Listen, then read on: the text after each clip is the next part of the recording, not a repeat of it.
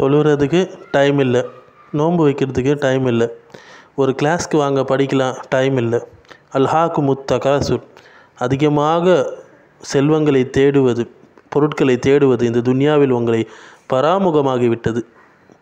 மறுமையை விட்டு தூரமாக்கி விட்டது அதிகமாக ஒருத்தர் தேடும்போது இந்த துன்யாவில் ஆட்டோமேட்டிக்காக அவருக்கு வந்து டைம் வந்து ரொம்ப பிஸியாகிடுவார் அவர் பிஸியாக மார்க்கத்துடைய பணிகளை அவரால் செய்ய முடியாது இபாதத்துகளை செய்ய முடியாது. ஆதலால் தான் ரசூல் சல்லல்லாஹ் அலையம் அருமையான ஒரு இபாதத்தை கற்று தந்திருக்கிறாங்க இஸ் ஹத்ஃபித் துன்யா யுஹிபக் அல்லாஹ் இந்த துன்யாவில் உலகப்பற்றின்மையோடு வாழுங்கள் அல்லாஹ் உங்களை விரும்புவான் என்று. சகோதரர்களே இந்த ஜுஹூத் என்ற பண்பை நம் வாழ்க்கையில் எடுத்து நடக்கும்பொழுது நிச்சயமாக நம் ஒவ்வொருவருக்கும் டைம் கிடைக்கும். வியாபாரமாக அதை எந்த இடத்துல வைக்கணும்னு நமக்கு தெரியும்? குழந்தைகளா எந்த இடத்துல வைக்கணும்னு தெரியும்? மனைவியா எந்த இடத்துல வைக்கணும்னு சொல்லி தெரியும்? பெற்றோர்களா எந்த அளவுக்கு வைக்கணும்னு தெரியும்? ஒவ்வொன்றையும் அதன் அதன் அளவில் வைக்கும்போது நமக்கு டைம் நிறையா கிடைக்கும்.